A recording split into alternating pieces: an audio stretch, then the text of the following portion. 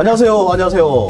특허청 고품격 소셜 토크쇼 예시의 특허청입니다. 진행을 맡은 특허청의 김구라, 특허청의 우블리 박성우 심사관입니다. 자, 그 살면서 누구나 한 번쯤은 그 겪는 것 중에 하나가 바로 싸움일 건데요. 자, 그런데 여러분, 그 진정한 싸움의 고수는 누구라고 생각하십니까? 어, 물론 다양한 의견이 있겠습니다만은 그 저는 싸움을 말리는 중재자가 고수가 아닐까 하는 생각이 듭니다. 중재를 어떻게 하느냐에 따라서 그 싸우는 그 당사자들이 빨리 화해를 할 수 있고 아예 뭐 인연을 끊기도 하지 않습니까? 그래서 그 싸움의 키를 쥐고 있는 쥐고 그 양측을 화해시키려고 하는 그런 중재자야말로 진정한 싸움의 고수이자 능력자라고 생각이 듭니다.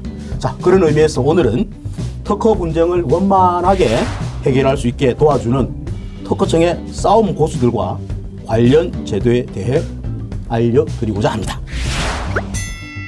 자, 저와 함께 먼저 얘기 나눠주실 분을 모셔보겠습니다. 자, 어서 오십시오. 예, 네, 안녕하세요. 안녕하세요. 예, 안녕하세요. 자기소개 부탁드리겠습니다. 네, 저는 산업재산 보호 정책과에 근무하는 최성규 주무관이라고 합니다. 네, 산업재산 보호 정책과에서 또 나와 주셨네요. 네. 그, 지난 방송에서 아시다시피 그 징벌적 손해배상제도, 그 다음에 그 영업비밀 보호센터에 관한 소식을 전해 주었던 부서인데요. 자, 오늘 그 우리 최 주무관님이 출연해 주셔 갖고, 어, 현재 저희 그 4시의 특허청입니다. 최다 출연, 음, 부서가 됐습니다. 자, 일단 한번 박수 한번 치고, 네, 아이고, 축하드립니다. 네. 과장님 좋아하시겠어요? 네, 네. 네, 감사합니다. 앞서 출연했던 동료분들이 너무 잘해주셔가지고 제가 좀 많이 걱정이 되긴 하는데요. 음. 네. 오늘 최선을 다해서 제도를 소개하고 돌아가도록 하겠습니다. 네, 네. 막 걱정하지 마시고 막 편안하게 막 말씀을 해주시면 될 것 같습니다. 자, 그럼 그 오늘의 주제부터 소개를 해주실까요? 네, 오늘의 주제는 산업재산권 분쟁 조정, 조정 제도입니다. 네. 산업재산권 분쟁 조정은 산업재산권 분쟁에 드는 비용과 시간을 절약할 수 있도록 음. 당사자를 분쟁 해결 절차에 직접 참가시켜서 상호 간의 협- 합의를 유도해내는 제도를 말하고요. 음. 네. 이러한 조정 제도의 운영을 특허청이 설치한 음. 산업재산권 분쟁 조정 위 원회에서 담당하고 있습니다. 네, 그렇군요. 자, 그렇다면 그 말씀하신 그 산업재산 분쟁 조정위원회는 그 어떻게 구성이 되고 구성원들은 또 어떠한 자격을 뭐 갖고 있어야 되는가요?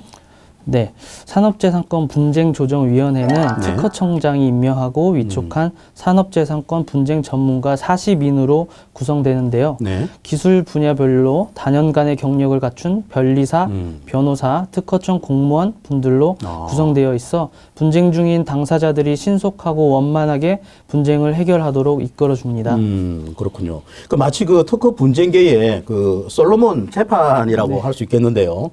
자, 그렇다면 그 산업재산권 분쟁 조정은 어떤 경우에 신청을 할 수 있나요? 어, 특허권, 실용신앙권, 상표권, 디자인권을 산업재산권이라고 부르는데요. 이런 네. 산업재산권을 침해당한 경우나 네. 산업재산권에 관한 침해 주장을 받고 있는 경우, 음. 또 직무 발명과 관련해서 기업으로부터 정당한 보상을 받지 못한 경우, 그 네. 밖에도 뭐 기술상 영업 비밀과 관련된 분쟁을 겪고 계신 분이면 신청이 가능합니다. 음, 그렇군요. 그 산업재산권, 그 다음에 직무발명, 그 다음에 기술사항의 영업 비밀과 관련된 그런 분쟁을 겪고 있는 분들이라면 신청을 할 수 있는 건데요.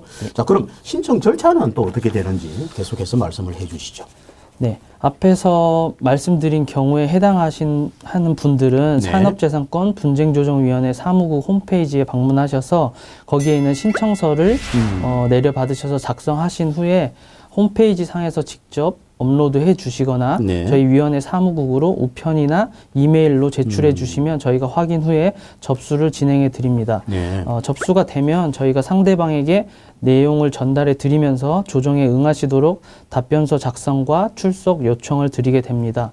피신청인이 조정에 응하게 되면 네. 기술 분야에 맞는 조정위원을 저희가 섭외하고 조정회의를 개최하게 되고요. 조정회의에서 합의가 이루어지면 합의된 내용으로 조정조서를 발부해 드립니다. 이렇게 발부된 조정조서는 법원에서 판결 내린 것과 똑같은 효력을 갖는 재판상 화해의 효력을 갖게 됩니다. 음, 그렇군요. 그 법원 판결과 같이 그 동일한 법적 효과를 갖는 화해라면 분쟁이 정말 그 현실에서도 그다음 서류상에서도 그 깔끔하게 종료된다는 것인데요. 자, 우리 그저 최 주무관님 그러면 혹시 기억에 남는 그런 어떤 산재권 분쟁 조정 제도의 어떤 사례가 혹시 있는지요? 네, 제가 간단하게 사례 하나를 소개해 드리도록 하겠습니다. 네, 그렇게 해 주시죠.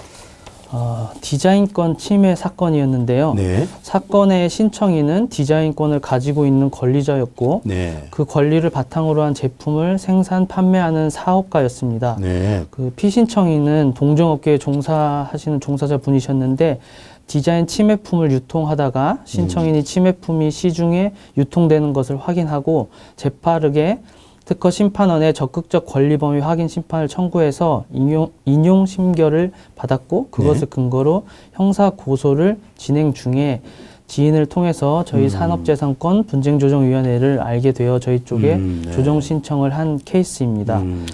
저희가 신청서를 접수하고 피신청인이 조정에 응할 수 있도록 음, 설득해서 조정 회의를 개최하게 되었고요. 네. 결론적으로 이 사건은 조정이 성립되었는데요. 내용은 이렇습니다. 피신청인은 디자인권 침해 사실을 인정하고 침해품 재고를 모두 폐기하고 음. 손해배상 명목의 합의금을 신청인에게 지급하는 것에 합의하였습니다. 네. 그리고 신청인은 피신청인을 상대로 진행 중인 모든 분쟁을 취하하는 것으로 합의하였습니다. 이 사건이 기억에 남는 이유는 네. 디자인권 침해로 인해서 특허 심판, 형사 고소, 음.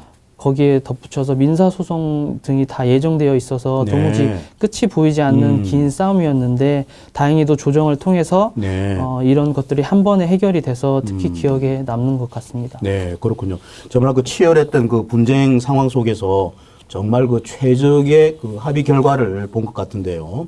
자, 이렇게 그 분쟁 조정 제도를 활용하면 분쟁 해결하는데 통상 어느 정도의 시간이 소요됩니까? 네, 아시다시피 소송이라는 게 한번 시작을 하면 긴 시간과 많은 비용이 그렇죠. 소요되게 네. 되는데요. 산재권 같은 경우는 워낙 복잡하기 때문에 보통 소송으로 진행할 경우 평균 40개월 음. 정도 걸린다고 보시면 됩니다. 네. 근데 분쟁 조정 제도를 이용하시게 되면 음. 조정 기간이 평균 3개월로 소송보다 빠르게 해결하실 음. 수 있다고 생각하시면 됩니다. 야, 상당히 빠른데요. 네. 자, 그렇다면은 그 다음에 또 관심 있는 게 비용이 또 어떻게 드냐 그 문제인데 통상적으로 뭐 비용은 뭐 어느 정도 드는지요? 네. 어, 조정 신청 비용은 음. 무료. 무료라고 보시면 됩니다. 네. 조정 과정에서 네. 저희 쪽에서 따로 요구하는 비용이 전혀 없다고 보시면 되겠습니다. 네, 그렇군요. 그 참그 전문가의 상담도 받고 그 분쟁까지 해결해 주는데 비용은 무료다. 이건 뭐 실화 맞습니까? 네. 진짜로 추가 비용 없이 네. 산업재산권 전문가들과 함께 분쟁을 원만하게 마무리 지으실 수 있고요. 음. 모든 절차가 비공개로 진행이 되기 때문에 비밀이 공개될 염려도 없는 것도 분쟁 조정 제도의 장점이라고 할 수 있습니다. 이야, 참, 이, 저, 정말로 말입니다. 이게 저, 분쟁 비용도 공짜에다가, 그 다음에 그 분쟁한 그 진행 절차도 비공개로. 이야, 이 정말 좋은 제도인데요. 그 참, 죄송한 말씀입니다만은, 그, 현- 현재 그 분쟁 중인 분들한테는 이거 참 좋은데, 이 어떻게 좀 더 설명하고 표현할 방법이 없을까요? 네. 어, 지난 2년 동안 산업재산권 분쟁 조정 신청이 3배 이상 증가했고요. 예. 그에 따라서 조정 성립률도 음. 최근 40% 정도 기록하고 있거든요. 그래서 분쟁 조정 분야에서는 음. 네. 적은 성립률이 아니, 어, 아니라고 40% 높은. 편이군요.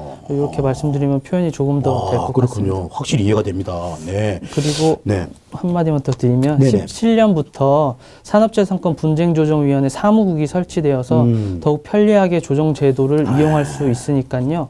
산업재산권 분쟁으로 고민하고 계신 분이 있다면 1670에 9779번으로 연락 주시면 친절하게 안내해 드리겠습니다. 네.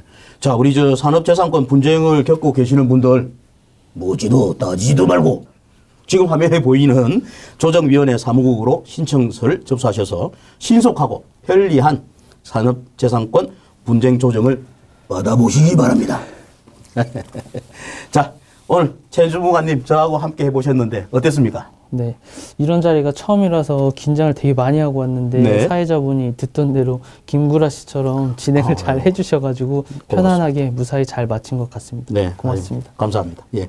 자, 우리 산업재산 보호 정책과에 또 다른 출연자도 예, 곧또 만나 뵐수 있길 바라면서 우리 최 주무관님과는 여기서 인사를 나누도록 하겠습니다. 자, 오늘 나와주셔서 대단히 감사했습니다. 고맙습니다. 네. 네, 저희가 준비한 소식은 여기까지고요. 저도 이만 인사를 드리도록 하겠습니다. 대한민국 국민 모두가 진정한 발명가가 되는 그날까지 특허청은 여러분의 고민과 분쟁을 두루두루 살피고 함께 나누며 그 해결책을 찾을 수 있도록 때리는 시어머니보다 말리는 착한 시누이가 되도록 최선을 다하겠습니다. 대단히 감사합니다.